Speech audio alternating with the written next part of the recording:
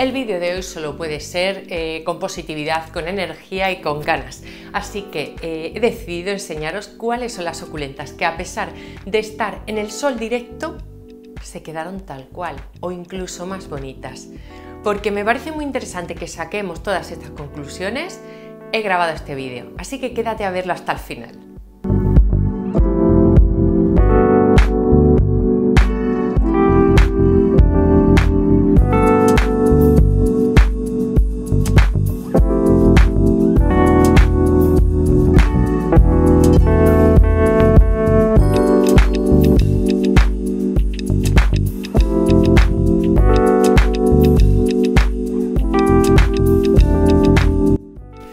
A todos amigos suculentos y suculentas, yo soy Lía Rock y en este canal hablamos sobre plantas suculentas, eh, sobre todo, pero también sobre plantas de interior.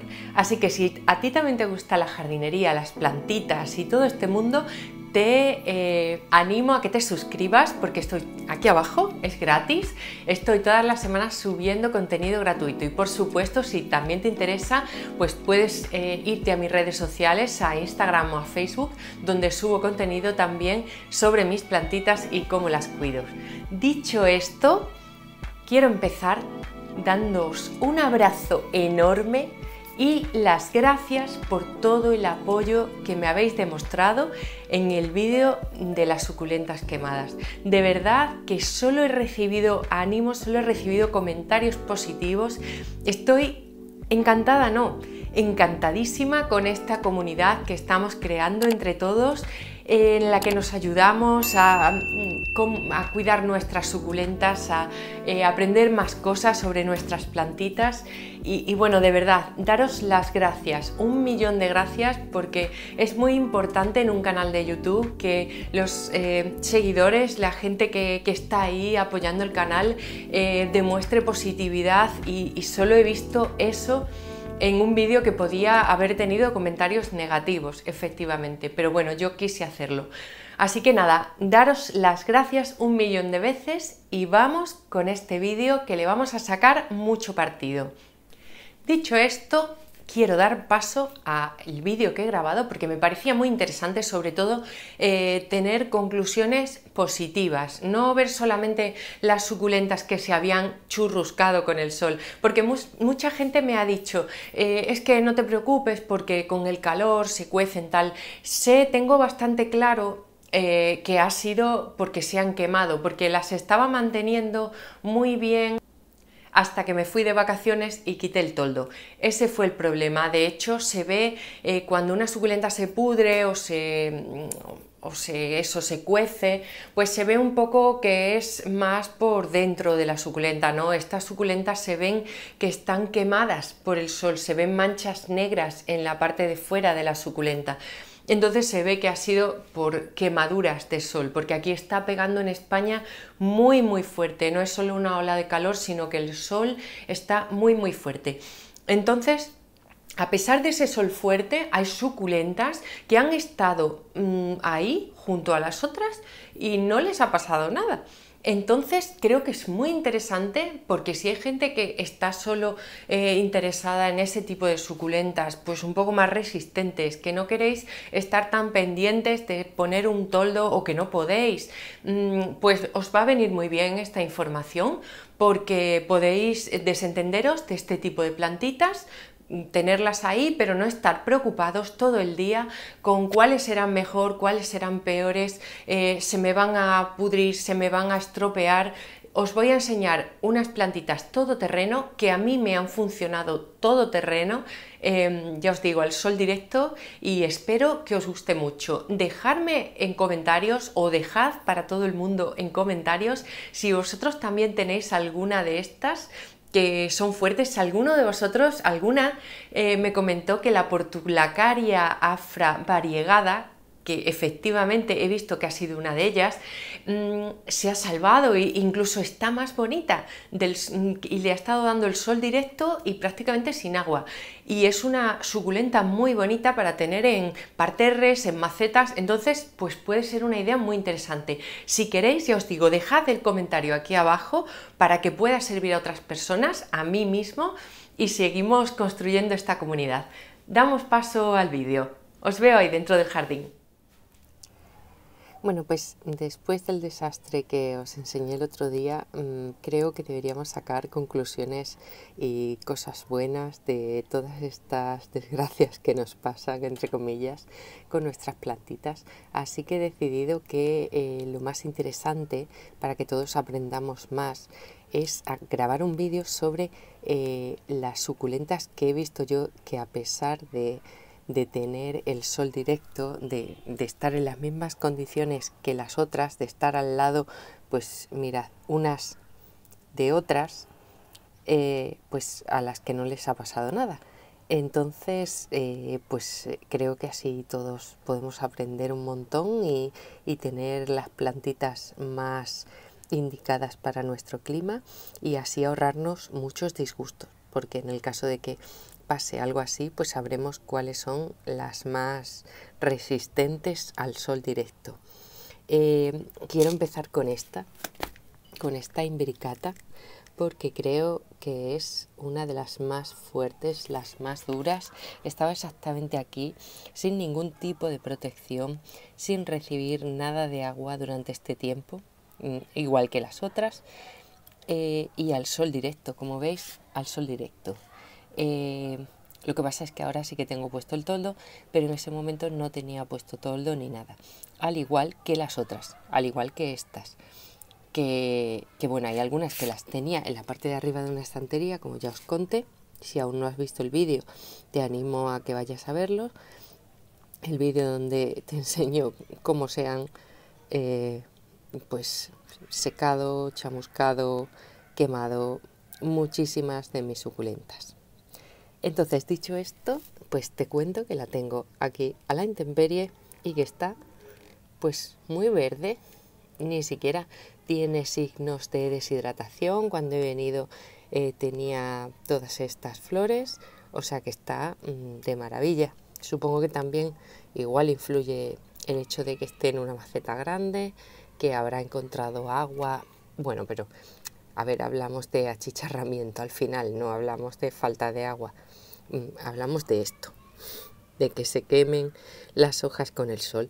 Eh, por eso, bueno, pues la imbricata, seguro, para mí, una de las más resistentes. Y de la imbricata, pues yo creo que pasamos a esta rulosa, a la culibra, que también veis que tiene ahí alguna pequeña quemadura, se destintó un poco, ya va recuperando poco a poco sus colores, ¿lo veis? Eh, pero nada más allá de eso, no está toda perfecta también, pero nada más grave que eso. O sea que como ves también las rulosas son bastante resistentes al sol directo. Vamos a esta otra, a la pulvinata, que también como te dije en el vídeo, pues estuvo destintada, llegó, llegué y estaba completamente amarilla, pero por lo demás pues también ha resistido también los efectos del sol. Y como veis no hay nada de quemado en sus hojas, está recuperando el colorcito eh, poco a poco, el colorcito rojo, pero mm, no hay ningún signo de, quemaduras, sus hojitas están perfectas con, con todo con los pelitos que le caracterizan y nada, sin ningún problema. Paso a esta reunión y creo que es. La voy a coger y os la enseño.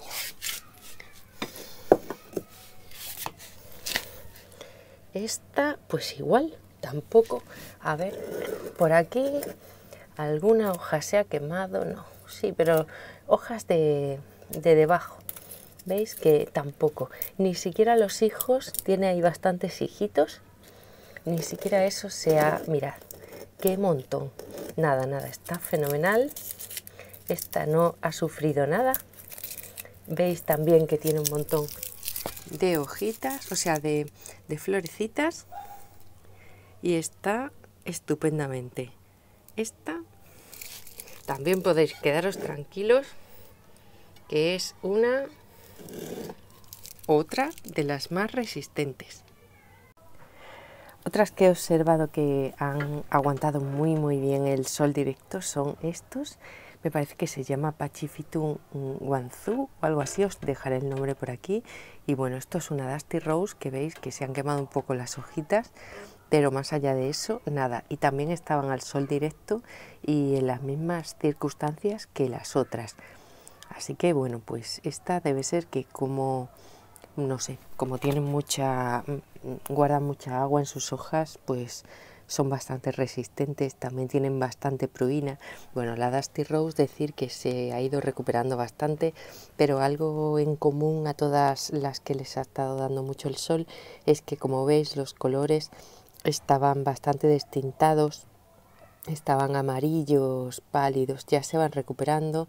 Veis este pachifitum que, que va recuperando un poco el rosa en las puntas, pero, pero bueno, Mm, pues eso os cuento, pero estas también me han resultado bastante resistentes.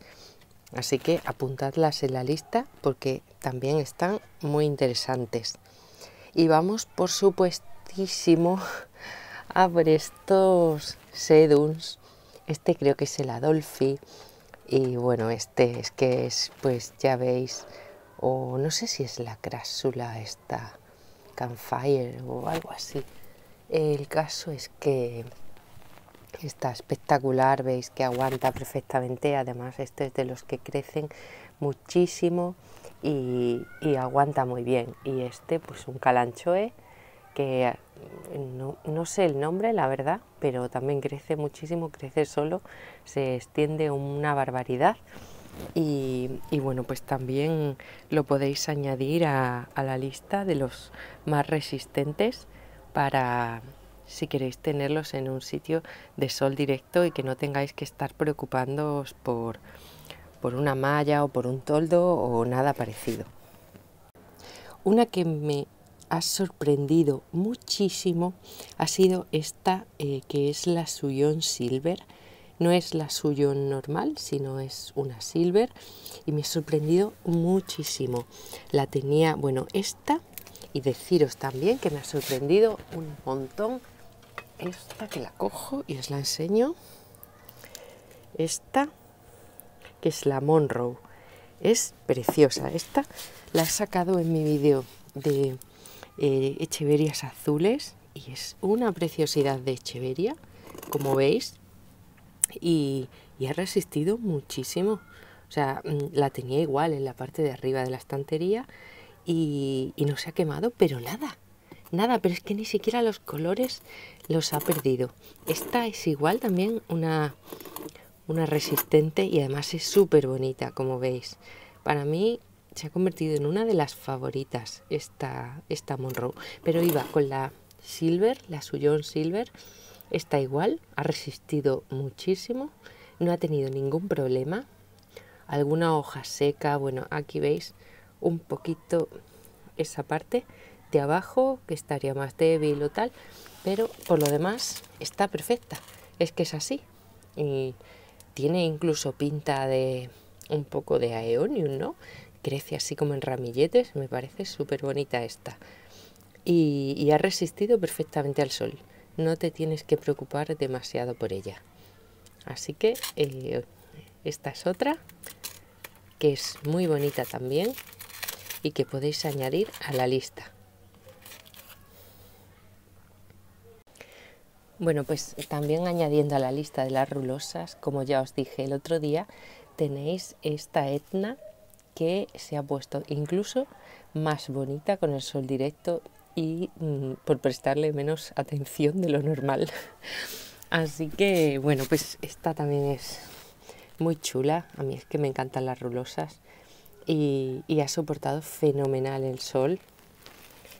Esta es también de colección y, yo os animo a que tengáis todo este tipo de, de rulosas preciosas porque además de resistentes y daros un montón de hijuelos, pues son muy decorativas, son muy chulas y, y, merecen un montón la pena. Y si encima le añades el plus de que soportan el sol muy bien y que no se te van a morir a las primeras vacaciones que te vayas, pues mm, bueno, pues ya tienes, ya tienes ahí un punto positivo a su favor.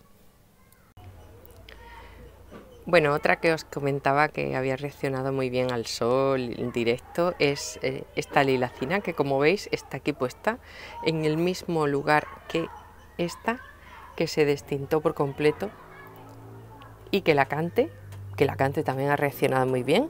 Son algunas de las que se cierran en las hojas. Bueno, veis esto, es que tengo que hacerle una limpieza a todas de hojas, pero, pero claro, poco a poco.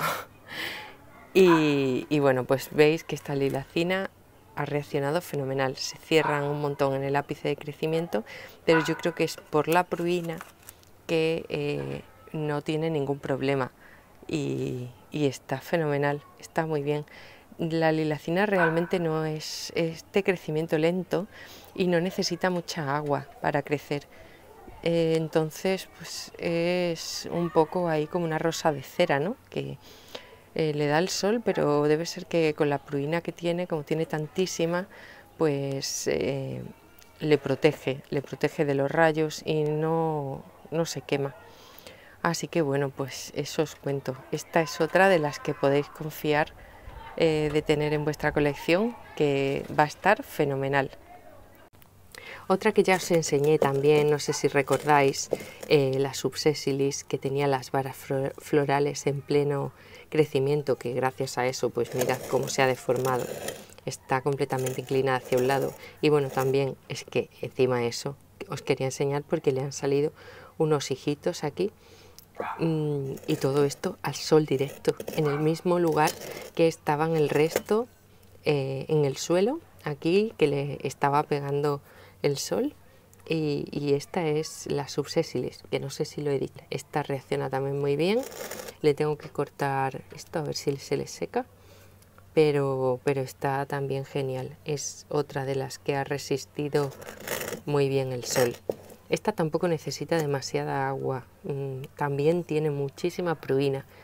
Yo diría que del nivel de la lilacina o quizás un poco más. Entonces, pues supongo que todo eso eh, es lo que ha influido para, para que estén mejor, que estén más protegidas. No lo sé. Ya os dije también en el otro vídeo que todas estas paraguayenses habían resistido fenomenal también el sol directo, estaban un poco deshidratadas, pero ahora ya veis que están volviendo a, su estado de regorditas y, y están muy bien. Estas lo aguantan fenomenal, estas son todoterreno realmente.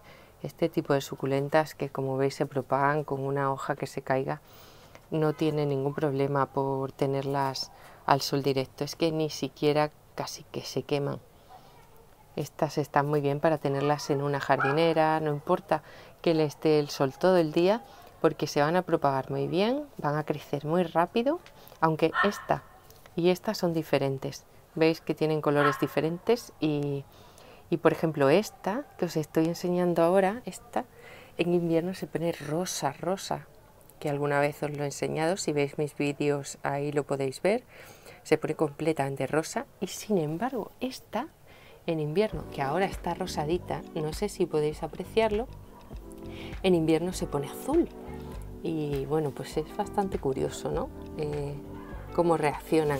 No sé si lo veis o me estoy tapando con el sol o qué, pero veis lo bien que está y cómo está creciendo. Otra que me decíais alguna de vosotras, y también la había enseñado en el vídeo, eh, era la esta que os había dicho. Voy a ver. Mm, la Portulacaria afra variegada medio pinta. Esta ha resistido bárbaro o sea, la portulacaria afra, que también tengo otra ahí bastante grande, resiste una barbaridad, resiste muchísimo esa suculenta. Pero esta en concreto me ha sorprendido porque es como medio variegada y pues, se ve como más delicadita.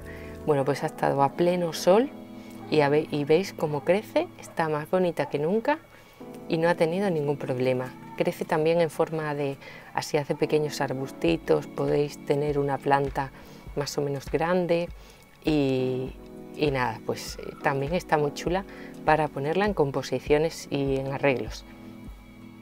Hasta aquí el vídeo de hoy, espero que os haya gustado. Ya os digo, si tenéis alguna suculenta que os haya ocurrido lo mismo, dejadme un comentario aquí abajo con el nombre de la suculenta que os ha funcionado también.